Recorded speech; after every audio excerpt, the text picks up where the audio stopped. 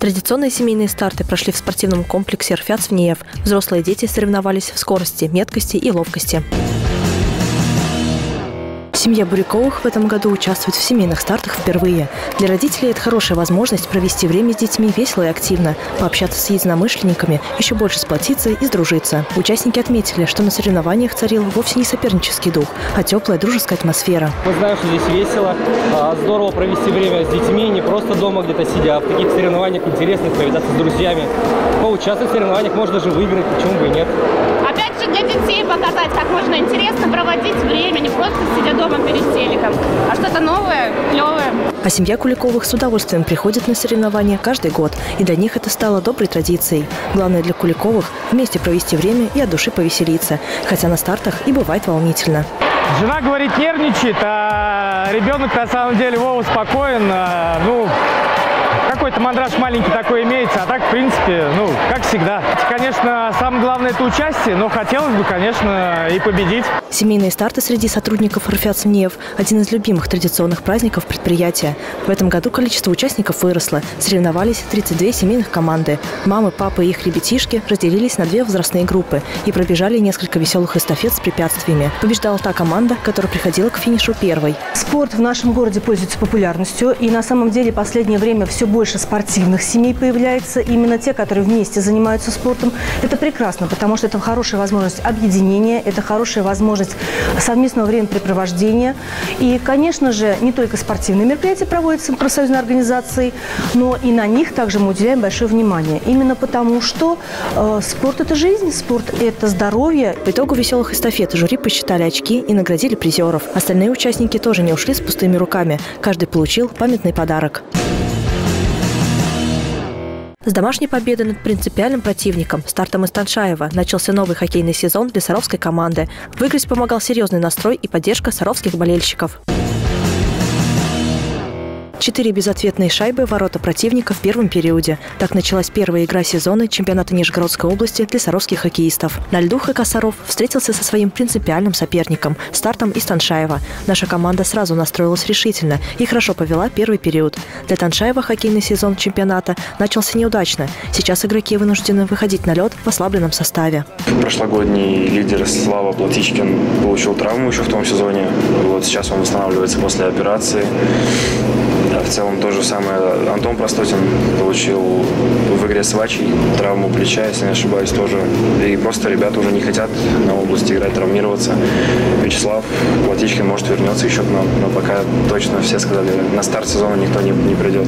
Начать сезон с сухой победы нашим хоккеистам не удалось. Во втором периоде старт собрался с силами и показал свой характер. В ворота саровчан прилетело три гола. В третьем периоде соперники обменялись по одной шайбе. По итогу хоккейный клуб «Саров» завершил игру со счетом 7-4. Игра была не совсем тяжелой. Как бы играли, да, с принципиальным соперником, с финалистами прошлой, прошлого года. Вышли, заранее поговорили, дали бой и выиграли. Ажиотаж очень сумасшедший. Э, все болельщики молодцы, много приходят. Спасибо, что болеют. Нам очень приятно играть при таких трибунах. На протяжении трех лет Саров проигрывал Таншаеву в полуфинале чемпионата высшей лиги. В прошлом сезоне давние соперники встретились в финале. И ХК Саров завоевал первый в своей истории титул чемпионов. Как сказал тренер Сергей Макеичев, сейчас главная задача на сезон для наших хоккеистов – защитить титул. Ведь планку ХК Саров поднял очень высоко. Первый играет самые тяжелые, первые и последние, как бы говорят, самые тяжелые игры. Установка была такая, начать хорошо, что и получилось, но потом опять у нас на одни и те же грабли наступаем. Думаем, что сейчас 5-0 повели и спокойненько. Люди играют, все команды играют до конца. Поэтому немножко тут интрига создалась, но в итоге все спокойно, нормально доиграли. Открытие нового сезона чемпионата Нижегородской области по хоккею среди мужских команд высшей лиги стало настоящим праздником для болельщиков. На входе в Ледовый дворец зрители встречали ростовые куклы, аквагрим, военный оркестр и другие активности. После развлекательная программа плавно перетекла в торжественную церемонию на Ледовой арене. Следующая игра сезона состоится на выезде в Лыскове. А в субботу 19 ноября Саров встретится на домашнем льду с командой из Княгинина. Начало в 13 часов.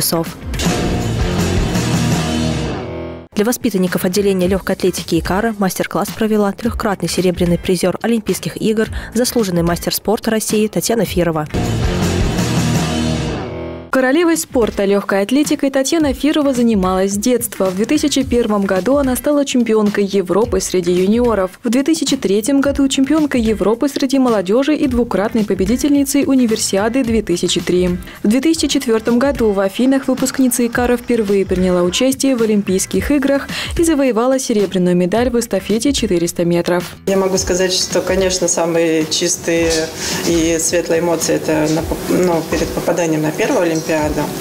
А уже последующая Олимпиада – это как залог был э, э, успеха в работе, тренер, тренерского состава и соперничества завоеванного места, такого уже достойного и законного, можно сказать, сборной. Формула успеха для Татьяны универсальна и применима не только к спорту, но и к жизни. 90% работы и 10% таланта. Трудолюбие – неотъемлемая часть побед любого чемпиона, считает спортсменка. Эту черту в девушке отмечает и ее первый тренер Марина Мачкаева. Самая ее главная черта и отличие от всех остальных – это ее трудолюбие.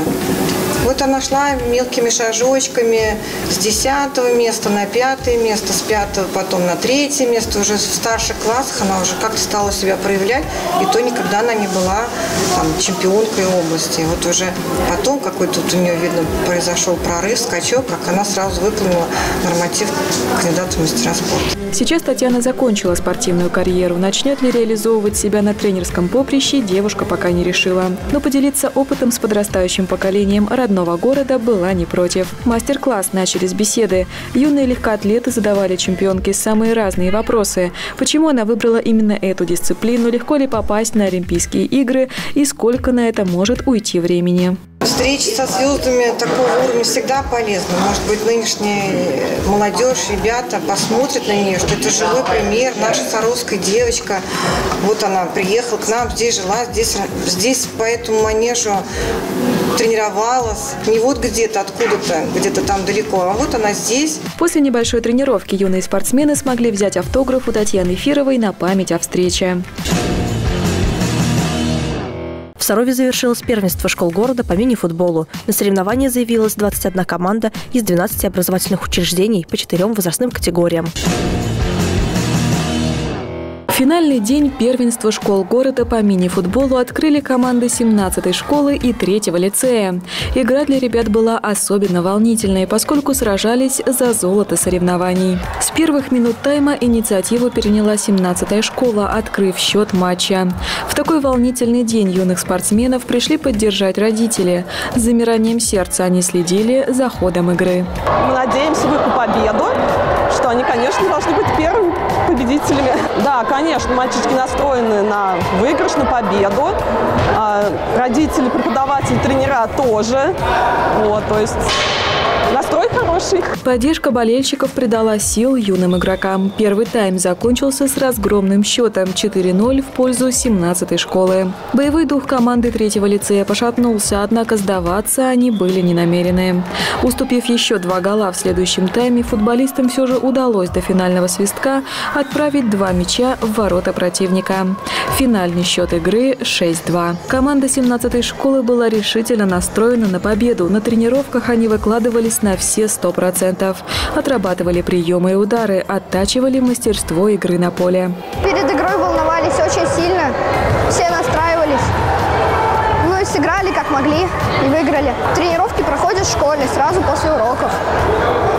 Там разминку, упражнения на контроль мяча и на, те, э, и на технику. На первенство школ города по мини-футболу заявилась 21 команда от 12 учреждений по четырем возрастным категориям, начиная с пятиклашек и заканчивая взрослыми ребятами. Играли футболисты по олимпийской системе на вылет. Сильнейшие команды дошли до финала. Сегодня у нас проходят финальные игры всех возрастов. У нас участвуют четыре возрастных группы, начиная с малышей, это 11-12 год рождения, 10-9 э, год рождения, 8-7 и самый старший это 5-6 год рождения, это 10-11 класс выпускники. Между собой они сегодня разыгрывают первое-второе место и первое место, которое побеждает в каждой возрастной группе, отправляется у нас на зональные соревнования в Арзамас. Соревнования в Арзамасе пройдут с 10 по 25 ноября.